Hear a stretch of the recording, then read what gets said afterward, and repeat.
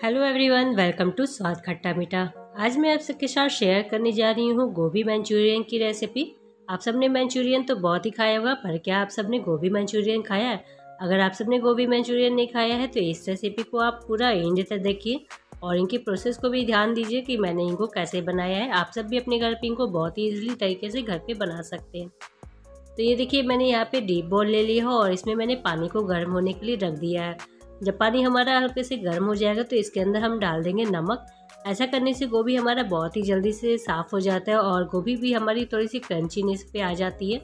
जिस स्टेज तक हमको गोभी को पकाना है, उसमें करने के लिए हमको गैस को पहले ऑफ़ कर देना है और हल्के गर्म पानी में गोभी को डीप करके छोड़ देना है। पाँच मिनट के लिए आप गोभी को इसी पानी के अंदर डीप करके रहने दें और गैस को ऑफ़ कर दें।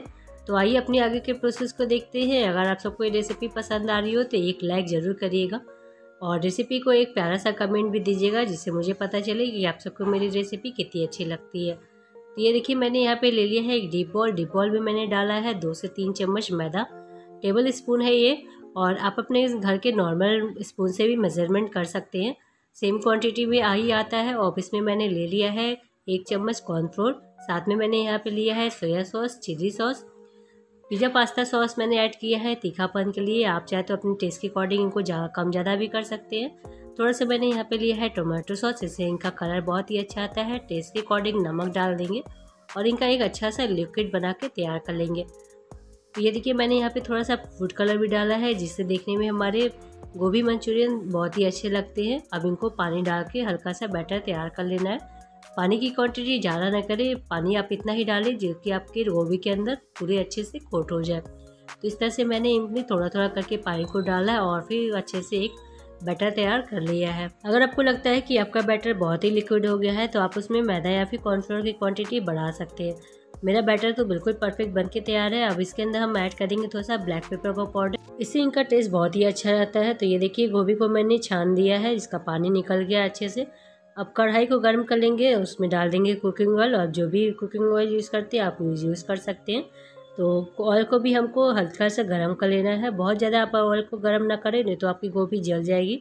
तो ऑयल हमारा गर्म हो गया है और इसमें मैंने डाल दिया है गोभी और इनको इस तरह से कोट लग कर लेंगे। आप चाहे तो अपने हाथों से भी इनको कोट कर सकते हैं, जिससे इनको डालने में बहुत ही आसानी होती है।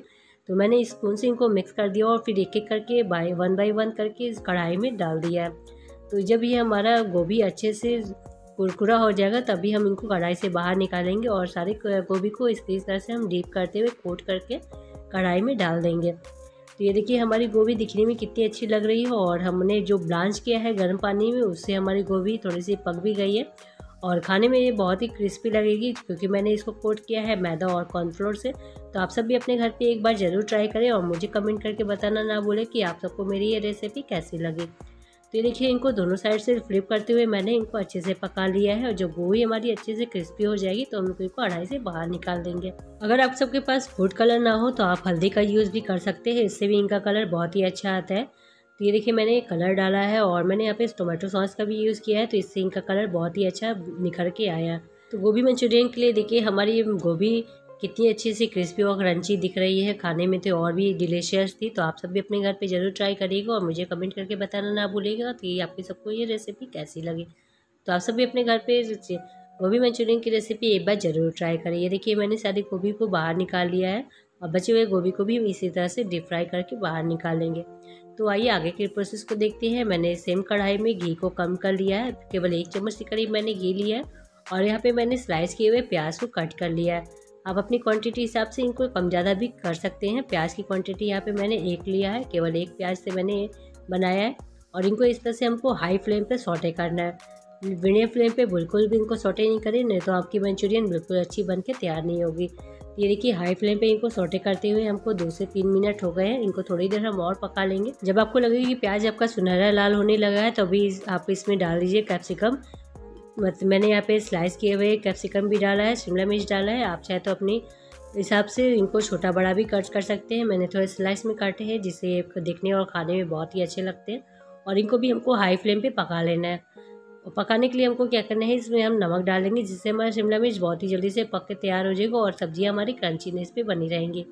हाई फ्लेम पे सब्जियों को फ्राई करने का फ़ायदा एक होता है कि सब्ज़ियाँ आपकी बहुत ज़्यादा गलती नहीं, जिससे आपकी सब्ज़ी क्रंचीनेस पे रहती है और खाने में बहुत ही अच्छी लगती है। तो ये देखिए मैंने नमक डाल के इनको पका लिया। इसमें हम ऐड करेंगे जो हमारे पास गोभी की सैलरी बची हुई है उसमें हम पानी डाल के ऐड कर देंगे और इनको इसमें भून लेंगे। सब्जियों के साथ इनको भून लेंगे जिससे इनका फ्लेवर एक जैसा हो जाएगा। इनको भी हाई फ्लेम पे ही भूनना है। जब इनका पानी जल जाएगा तभी हम सॉस को ऐड करेंगे। सब्जियों के साथ इनका पानी बहुत ही अच्छे से जल गया है और सारे हमारे जो मैदा और कॉर्नफ्लोर का मिक्सचर था वो सब्जियों में लपेट लिया है। तो इसके अंदर हम सॉस ऐड कर रहे हैं। दो से तीन बड़े चम्मच मैंने टोमेटो सॉस यूज़ किया है। अगर आप सब टोमेटो सॉस यूज़ नहीं करना चाहते हो तो आप यहाँ पे टोमेटो प्यूरी भी डाल सकते हैं।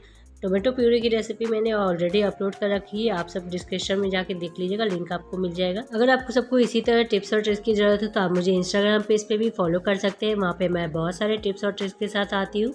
अगर आप सबके पास कोई रेसिपी रिक्वेस्ट हो तो आप मुझे मैसेज भी कर सकते हैं। अगर कोई क्वेरी हो तो आप मुझसे पूछ भी सकते हैं। तो ये देखिए, मैंने इसके अंदर डाल दिया है फ्राई किए हुए। गोभी। यहाँ पे मैंने जिंजर गार्लिक का पेस्ट भी यूज़ किया है। मैंने प्यूरी में ही इनको मिक्स करके डाल दिया था और फिर भून दिया था। आप सब चाहे तो अपनी क्वांटिटी के हिसाब से ग्रीन चिली की क्वांटिटी कम ज़्यादा भी कर सकते हैं। आप अगर स्पाइसी खाना पसंद करते हो तो ग्रीन चिली की क्वांटिटी बढ़ा लें। तो ये देखिए, इस हमने इनको अच्छे से मिक्स कर दिया और फिर इसके अंदर हम डाल रहे हैं सफ़ेद तिल। ये बहुत ही हेल्दी होता है खाने में और खाने इसका टेस्ट भी बहुत ही अच्छा लगता है। तो आप सब इसमें ज़रूर ऐड करें।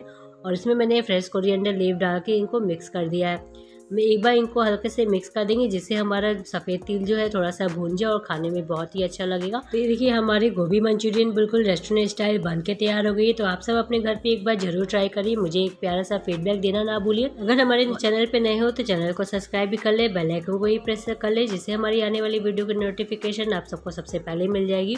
और अगर ऐसी ही डिलीशियस रेसिपी को आप सब खाना पसंद करते हैं तो आप हमारे चैनल को ज़रूर सब्सक्राइब करें और मुझे एक प्यारा सा फीडबैक देना ना भूले। तो आइए इसको हम प्लेटिंग कर लेते हैं। तो प्लेटिंग करने के लिए मैंने इनको सिंपल सी प्लेटिंग की है। आप चाहे तो अपने हिसाब से इनको प्लेटिंग कर सकते हैं।